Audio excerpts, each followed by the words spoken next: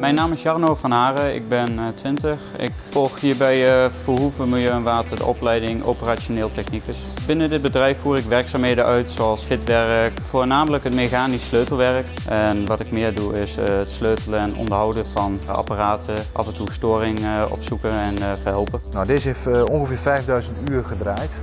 Dat betekent dat die olie nog niet vervangen hoeft te worden.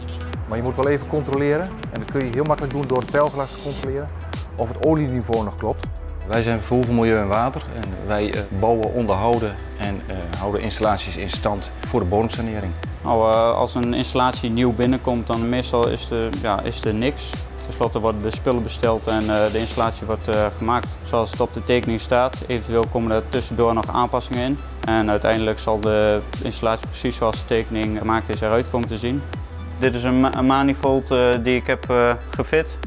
En ja, daar zitten wat meters aan, uh, wat kleppen verderom.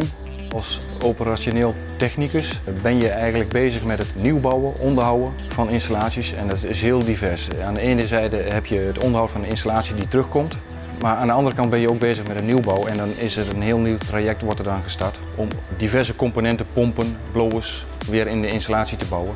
Nou ja, nou, je ontwikkeling gaat hartstikke goed. Nou. Uh, je maakt een uh, behoorlijke groei door binnen ons bedrijf, dat zie ik echt wel. Dus uh, je wordt redelijk zelfstandig, minder aansturing nodig.